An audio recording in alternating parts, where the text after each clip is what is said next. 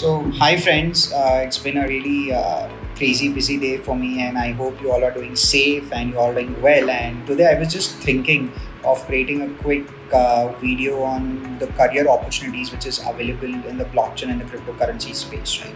So, a lot of my friends uh, and a lot of people whom I know and come across, they ask me that what are the career options and opportunities available in the blockchain space, and what is the right path to you know uh, achieve it.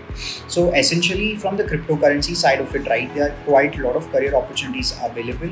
So you could be a trader you could be a marketer. There are so many new exchanges coming up and marketing has become a most important thing because all exchanges want to onboard users. So you could become a referral channel partner where you could onboard users and you could earn a lifetime commission which is one amazing opportunity. Here one of the key challenges is that you need to be uh, quite you know uh, educate yourself uh, quite well. You need to know about cryptocurrencies, its exchanges, what needs to invest because these guys are your personal connects and they would always look forward up to you for any kind of suggestions and feedback.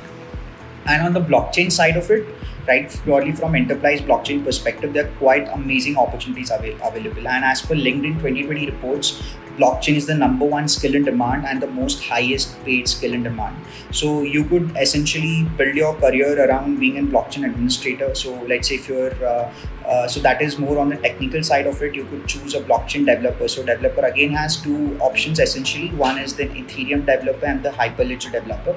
We're going to talk about this maybe in the again coming programs. But just to give you a perspective, Ethereum is the most used blockchain because it gives an ability to, for people to create their own cryptocurrencies and tokens, whereas Hyperledger is more used from an enterprise perspective because it gives a lot of more control and a privacy control environment to businesses. And then uh, other domain you have in architect so that is for people who is want to get more involved in the infrastructure level and for business people right who comes from a commerce background business background and want to uh, create their space in the consulting space you could essentially go uh, within blockchain business executive blockchain consultant hyperledger consultant and ethereum consultant and all these jobs are like amazing paid jobs. They are high skill and demand. And trust me guys a lot of people actually say they know blockchain but they don't know shit.